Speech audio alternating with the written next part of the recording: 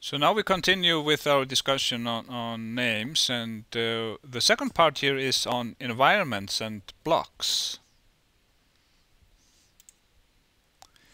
So this term environment is an, an important point when we discuss names and here we have a def definition. What is an uh, environment? The set of associations between names and denotable objects which exist at runtime at a specific point in the program and at a specific, specific time during execution is called the environment or the referencing environment. So it's the set of associations. We've already talked about associations or bindings between names and denotable objects.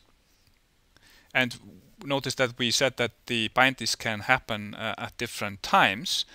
But uh, when we talk about the environment, we're talking about the set of associations that exist at the runtime. That's the important part. That exist at the runtime at a specific point in the program and at a specific, specific time during execution. And this uh, environment constitutes one of the principal characteristics of high-level languages. And this must be simulated in a suitable fashion by, by uh, the implementation of the language itself. So uh, we might say that this concept of uh, environment uh, exists in our high-level language. It doesn't really uh, exist uh, in the underlying machine, but it must be simulated. It must be simulated by the underlying machine. So it must be simulated by the implementation. So what are we talking about here? Uh, well, let, us first uh, look at the declaration. And this is something that uh, we saw similar uh, uh, declarations in the previous lecture where we uh, introduce or declare a variable. So we're really introducing an association in the environment. Um, so if this was a, a um, program that that we would be running, then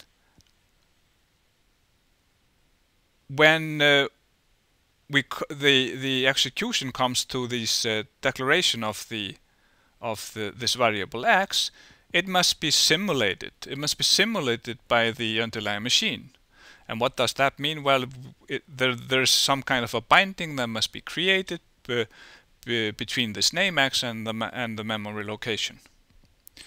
Now, we also talked about that if we have a function like f here, uh, then this is what, what was called the control abstraction, and we are associati associating a binding between the the name f here and the set of commands uh, in the body of the of the function. And this uh, association, um, when, whenever we call the function f, then it has to make made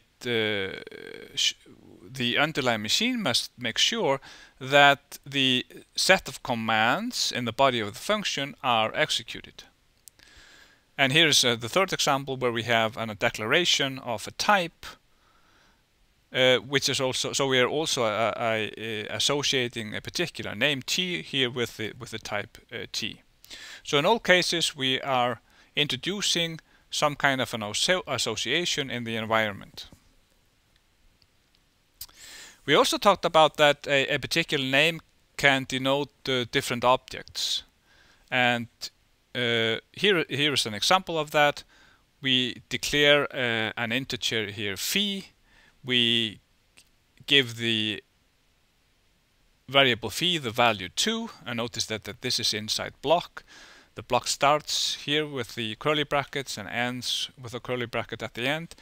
But then inside this particular block we have another block where we again introduce the variable phi. So, but in this case this is a, a of type character. In the previous case it was of the type integer. So here we have exactly this example of uh, a name that that denotes different objects at different times in, in, in the outer block, uh, it denotes an object of type integer. And in the second part, it denotes an uh, object of type character.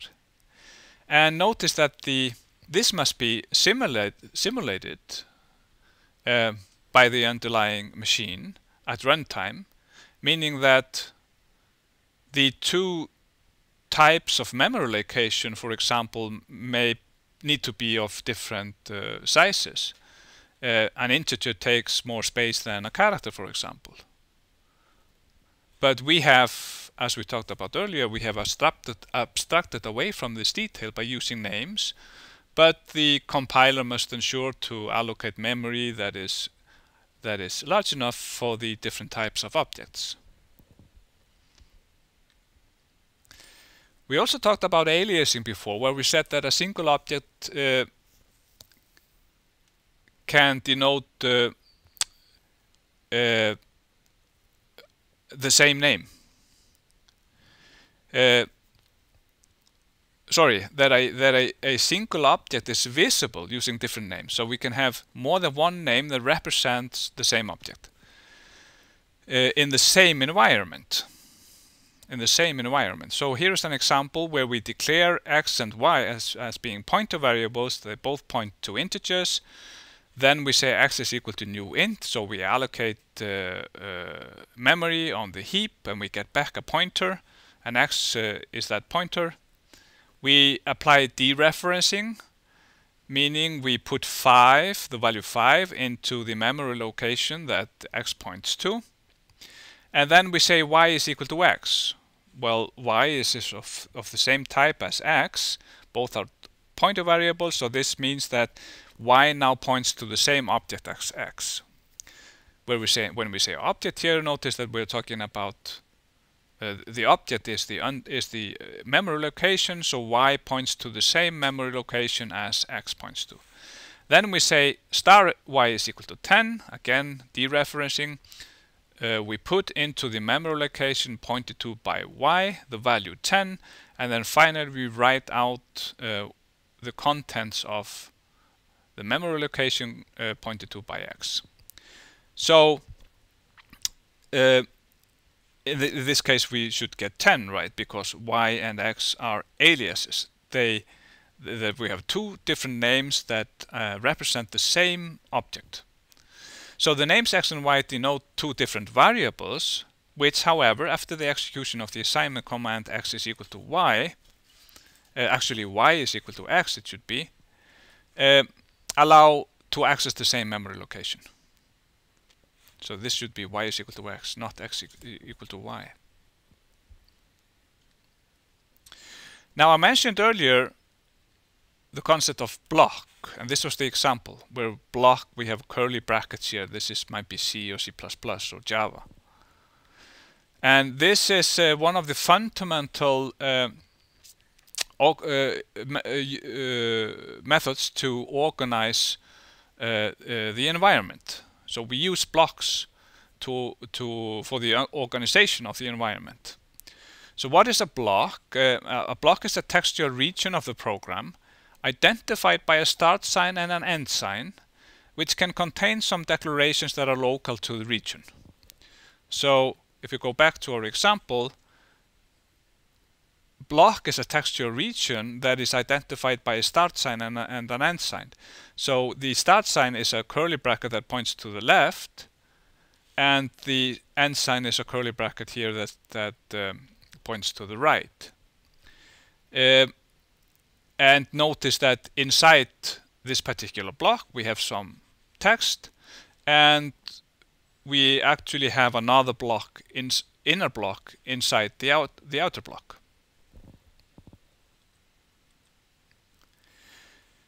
So in th there are different start and end signs in different languages. For example, we have begin and end for languages in the ALGOL family, what languages are in the ALGOL family, for example, Pascal uh, and Modula.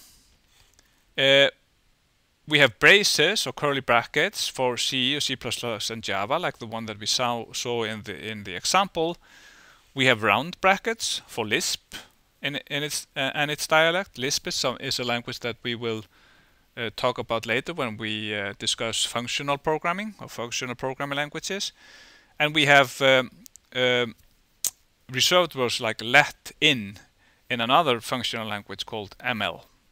So we have these different signs that are used for the different languages, but they all represent really the same thing. Uh, they represent blocks, a textual region of the program which can contain declarations that are local to the region.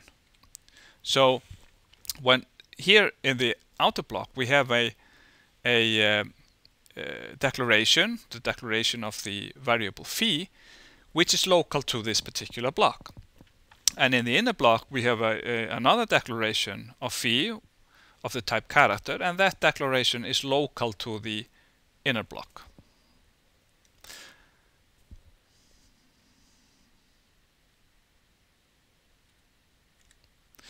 Now, uh, the types of blocks are two, uh, uh, two kinds. The, the, these are blocks that are uh, first, uh, those are blocks that are associated with a procedure or function. So uh, that really corresponds to the textual uh, to the to the textual region of the body of the procedure itself. Extended also with the declaration of formal parameters. So if we go back to the example here of uh, f, uh, notice here that when we declare f, we start with uh, putting blocks around the, the body of the function. So uh, the block that is associated with the function f contains the statements in the body of the of the function and actually along with the formal parameters. In this particular example we don't have any formal parameters uh, in the declaration of uh, the function f but uh, that should be included because we might have some uh, parameters like int x in the header here. And that would mean that the value that the variable x is uh, known in the is accessible in the body of the function. So we have blocks that are associated with a procedure or function. Uh, and then we have what are called inline blocks, which uh, and those are blocks which do not correspond to a declaration of a procedure, but can in general appear in any po position where a command, command can appear. And we have indeed seen an example of this. Here we have a block that is not associated with a function or a procedure, but uh, could be uh, put in a place wherever we can put a, a, statement. So we start the block when we have some declarations and then we close the block.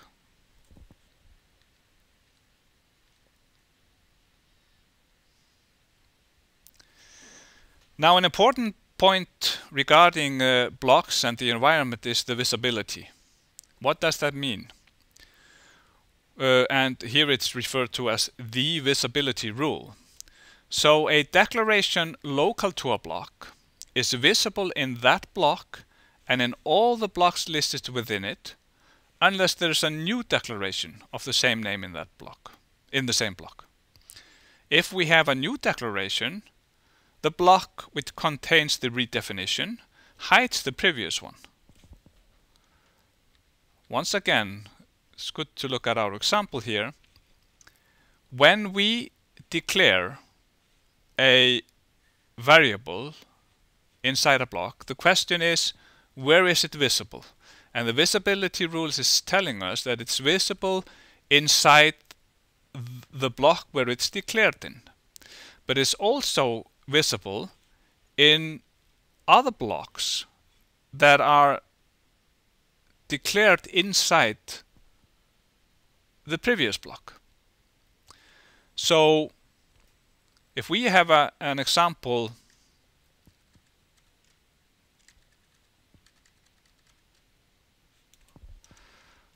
like this,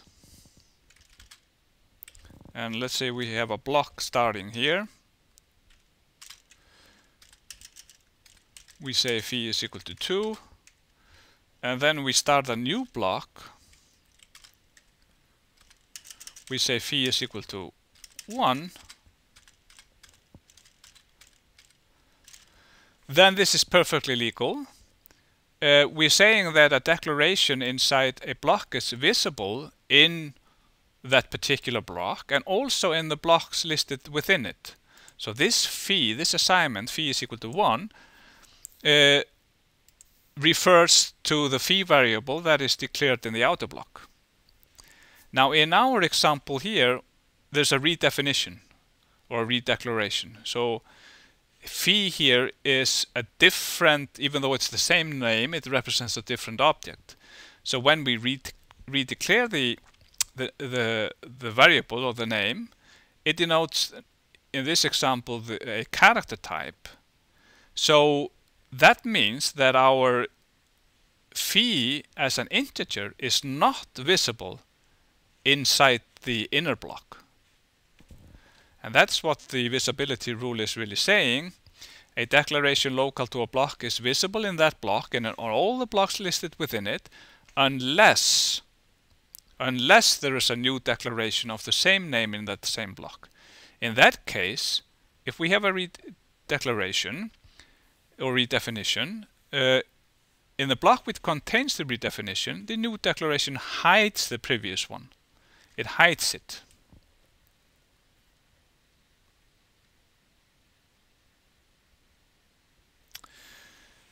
Now, if we look at the different types of environments that are associated uh, with a block, uh, we can have, th there are three types. It's called the local environment, it's called the non-local environment, and it's called the global environment. So let's have a look. What is the local environment? This uh, is composed of the set of associations for names declared locally to the block. Uh, if the block is for a procedure, the local environment contains also the association for the formal parameters. So this is uh, an example of the things that we did here. Uh, this is a local environment because we have a set of associations for names that are declared locally for the block. We have a name here that is declared locally for, for the block. And uh, if we have a, a function Then we also have a local environment. Uh, as we say here, if the block is for a procedure or a function, the local environment contains also the association for the formal parameters. So it also contains the, uh, the formal parameter and it has the local declarations and the formal parameters. That's the local environment. The non-local environment is the environment formed from the association for names which are visible from inside a block but which have not been declared locally. So those are um, uh, visible from inside a block but which have not been declared locally. And that is uh, the an example of that is exactly uh, this uh, assignment here. Phi is equal to 1 this is a non-local uh, reference. Uh, we this phi has not been declared locally, meaning it has not been declared locally in the inner block, but it's still visible because it's declared uh, in the outer block. So it is uh, a name which is visible from inside a block but has not been declared locally. And then we have a global environment, which is the environment formed from associations created when the program execution began. So this is really uh, uh, an association for names which can be used in all blocks forming the program. And what would be an example of that? Well, if this was, uh, let's say this, uh, we have a main here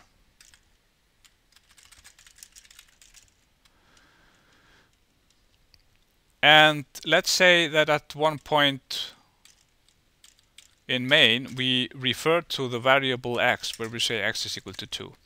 Now notice here that x is not declared locally in main. So uh, this would mean in C or C++ on Java that we would get a compile time error because x we cannot uh, uh, refer to the name x. It's not known in this environment. But if x was declared globally in C or C++, you would uh, do it this way. X is declared globally outside any block. So it's visible actually in every block. So that would be called the global, the global environment. The environment formed from associations created when the program's execution began. It contains the association for names which can be used in all blocks forming the program. So let's have a look at uh, different environments here. Uh, so we have a number of blocks here that are named. We have the block A that starts at the top. We have block B. Uh, inside the block B we have actually two blocks, the block C and block D. And uh, each of these blocks uh, declare their own uh, local variables. So for example, A declares the local variable A the block capital A has the local variable lowercase a. B has uh, lowercase b and c. Uh, c has a redefinition, notice. int c is equal to 3 here is a redefinition because the variable c that is declared locally in B is also access accessible in the block C, but since we have a redefinition, we hide, the block C hides the association of the variable c here. And then finally in block D, we, it has a, a local declaration of the variable e. So what happens here if we run this program? Uh, there's a write statement in C and there's a write statement in, in, in block D. So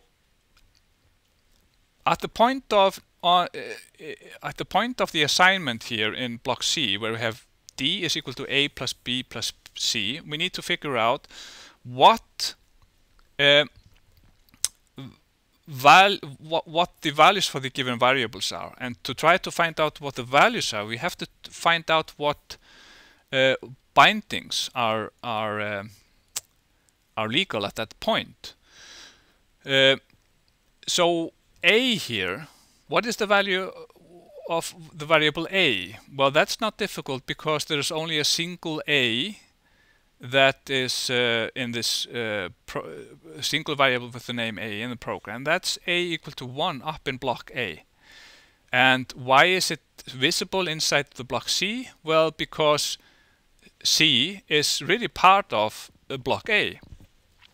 C is within the block A. That was one of the uh, uh part of the visibility rule. So A has the value 1. B has the value 2 because it's declared locally in, in block B and C is uh, uh, inside block B. Uh, the variable C has the value 3 because it's redefined here in block C. It does not have the value 2 because this declaration in C is equal to 2 is hidden once we redefine C inside block capital C. So we have uh, A has a value 1, B has a value 2, and C has value 3, so we get 6 out of this. D has the value 6 when you print it out. What about uh, the block D here? We have, uh, it declares the, the local variable E, and then says E is equal to A plus B plus C. A has the value 1 as before, it's declared up in block A.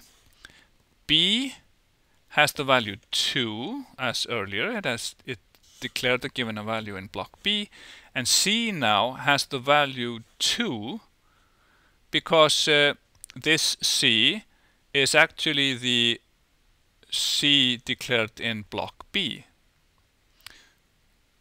Of course it doesn't doesn't have the value 3 because C inside block C, the, va the variable C inside block C is local. It's not accessible inside block D.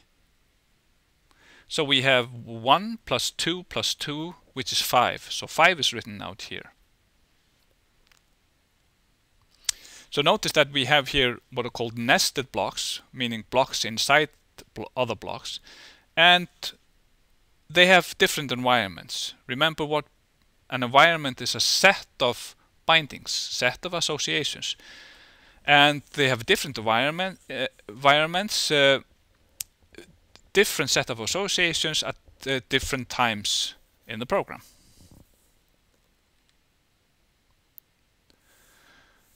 So finally, let's uh, look at the uh, operations on the environments. Um, and we've actually seen that there are some changes that are made to the environment at the entry to and an exit from a block. From a block. So when we were looking at this program, we noticed that the environment really changed. When we exited the block C, we had a different environment when we came into block D. For example, the the uh, variable uh, C here was not any more visible in block D. So something changes when we when we enter uh, blocks and uh, when we exit blocks. And what can happen? Well, first of all, there there is some creation of an association between names and and uh, denotable objects. So, uh, for example, when we when we uh, enter a new block uh, containing some local uh, declarations, then an, an, association is made. So one example of that is here. When we enter a block that has a local declaration, int c is equal to 3, then we are associating uh, uh, the name c with a memory location and it has the value 3. Uh, when we refer to an object, uh, we do it uh, by a name. And that happens also inside blocks when we do something like d is equal to a plus b plus c. We are referring to d, and that happens inside the block. We, the uh, deactivation of an uh, of association between names and denoted object. This happens when we enter a block in which a new association for the name is created. So once again, we can take this example inside block C. When we have the declaration int c is equal to 3, then there's a deactivation of the previous uh, association inside block B because uh, the association inside block B, the binding there, is not visible inside C. So there's a deactivation of the previous association. Remember, uh, when we redefine a variable, it hides the previous definition. Uh, then we need to reactivate an association. So there's a, as we said earlier, there's a deactivation, but there's also a reactivation. And that happens when we leave a block in which a new association for a name is created lo locally. Uh, when we go to when we leave block C here and, and we start execution the code inside block D, there is a reactivation of the association for the variable C. Because uh, uh, C the the association in block C is not any longer alive. And the association coming from block B must be reactivated in the environment for block D. And finally, there, there must be some kind of a destruction of an association between names and denoted object. And this happens when we uh, uh, when we exit a block in which these associations were created. So, for example, when we uh, when we exit uh, the block D here, the um, association for the variable e is uh, destroyed. And uh, when we exit block A the association for uh, the variable a is destroyed. Meaning that it's not anymore um, uh, the the variable a is not anymore associated with the a particular object or particular memory location outside block A.